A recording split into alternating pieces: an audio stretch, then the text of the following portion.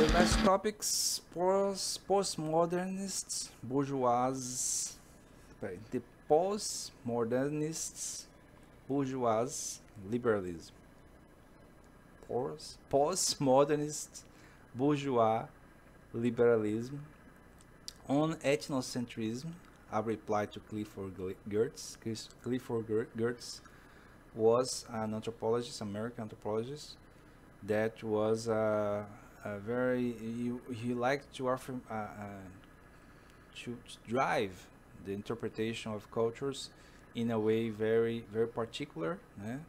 and I think that uh, if I remember this topic is when uh, Rorty uh, addresses to the way that Clifford Geertz talks about ethnocentrism in a way that the, the does not deny the way that the, the, society, the prior society, the prime society of the thinker works. Sometimes the, the anthropologist tends to deny, in a way, his own culture to, uh, to, to impose the interpretation of the other culture. I think something like that, if I remember correctly. If I don't and you know, someone know, please comments, put in the comments so we can learn from my mistakes.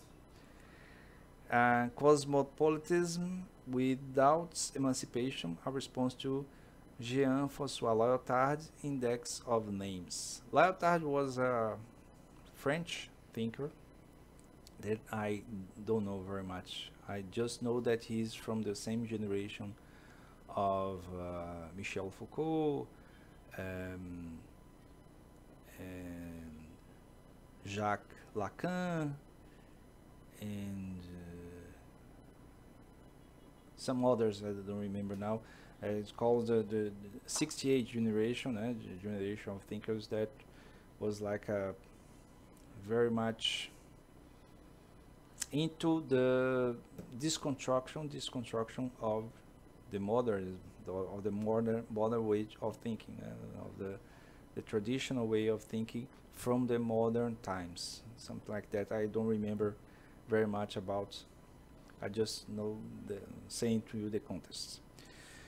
So this is a this this those are the contexts contents.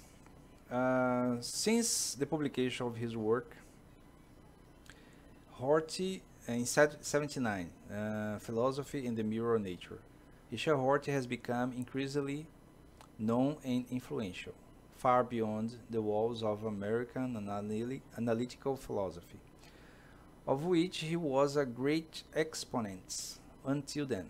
In fact, from the moment on, he radically distanced himself from the analytical mainstream, becoming one of its most destructive critics, uh, and even abandoned his covet position as professor of philosophy at Princeton.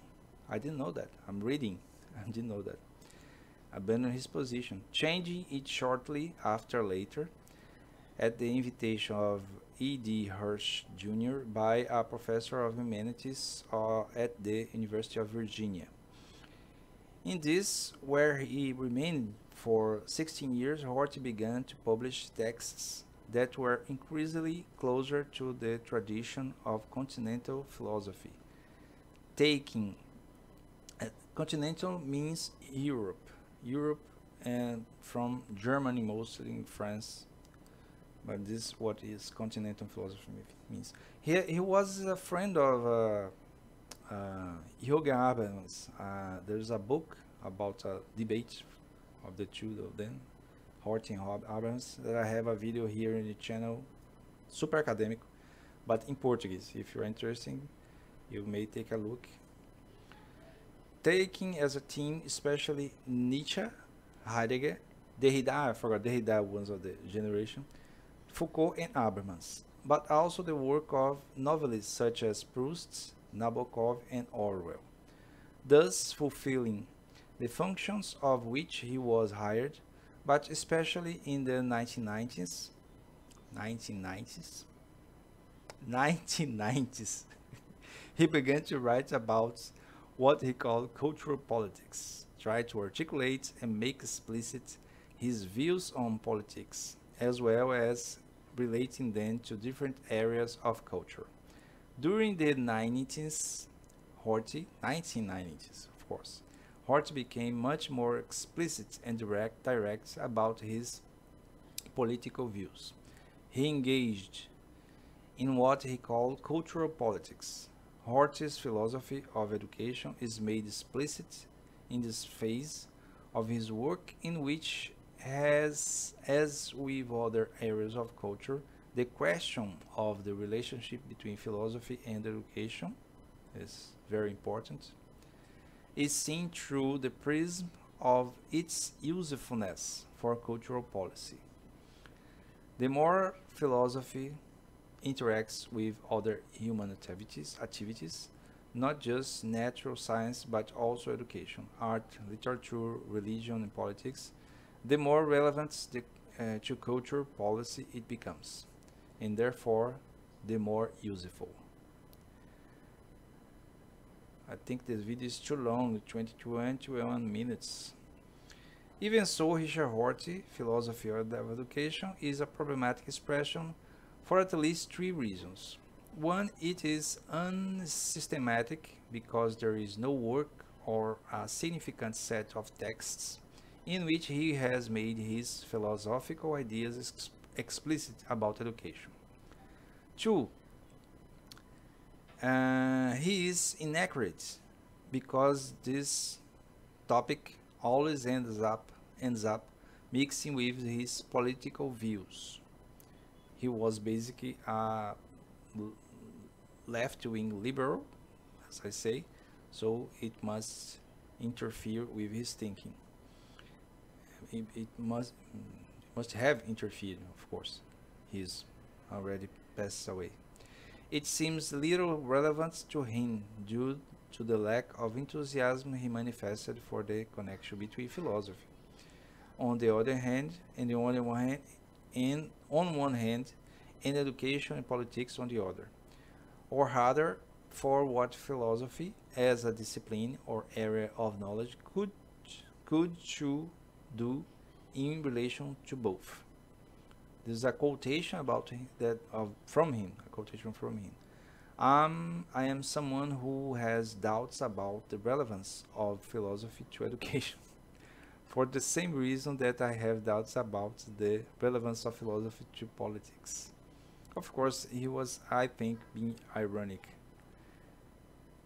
It's very important. It's very important philosophy to education, into, into politics. To get around these three difficulties, it will be necessary to adopt the following strategies. strategies. Sorry.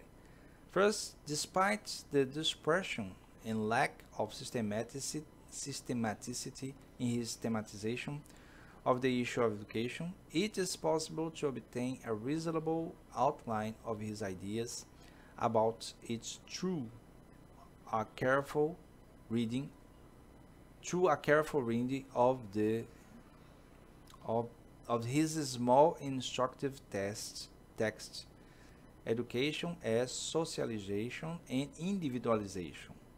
Seems to inter be interesting. This title is very interesting. I haven't read that. Using experts scattered elsewhere to complete it. Second it to complete it.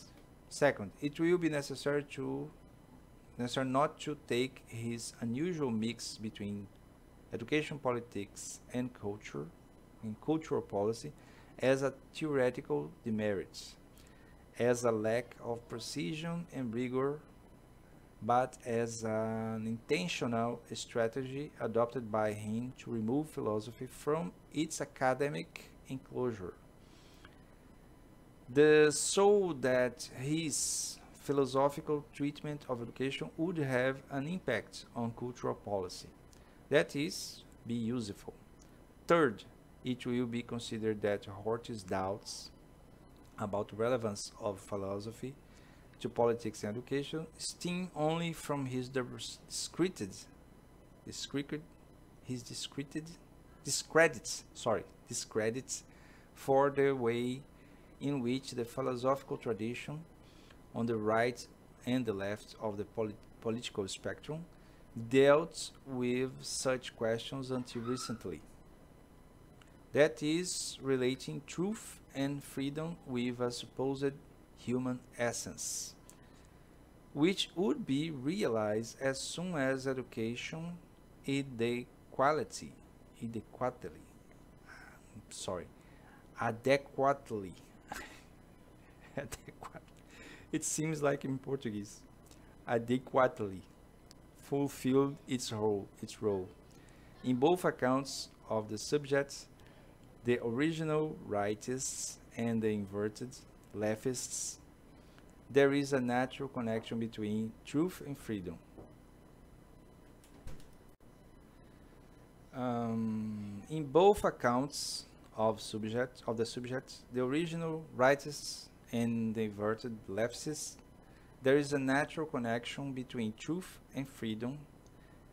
Both accept the identification of truth and freedom with the essentially human.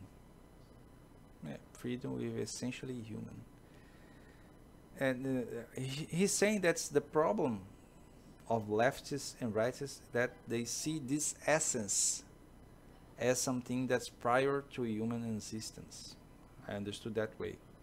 As myself as existentialist, I believe that existence comes before. I could not, I, I can accept that as a statement. Um, finally, he says, it is this metaphysical treatment of the question that intends to abandon with his own and allegedly useful thematization for the things that there is no such thing as human nature, nor is there such a thing as the alienation of one's essential essential humanity due to social repression in the profound sense made familiar by Rousseau and the Marxists.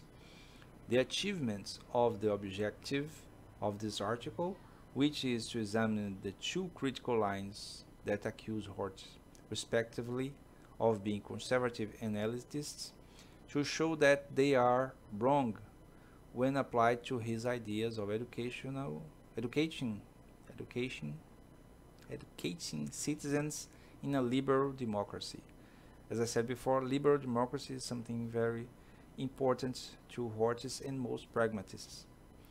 In the case of the first criticism, that of conservatism, conservatism, it will be shown how an education focused on the production of a reform, reformist rhetoric, as true by Rorty, can do more for democratic, democratic values, including not only freedom but also equality. So this is a review. I think the videos got too long. Maybe I'll divide it in two parts just to to to preserve you, you know, tire you. Uh, but uh, I, I, think it was important to develop the the main ideas that Rorty develops uh, in his books, in, in this book specifically, mostly, but in his work in a, a whole. Objectivism, Relativism, and Truth, philosophical papers. It's a volume one. I never got the volume two or else. I don't know if there is such a thing. Uh, probably there is. I think there is. But I recommend that if you got interested with the ideas of Richard Rorty, you get to research and search for more information about him in your language, Portuguese or English, whatever. And I hope you enjoy. And please subscribe to both channels, help the channels channels to grow. And comments, yeah, give us comments about what we discuss here today in this video.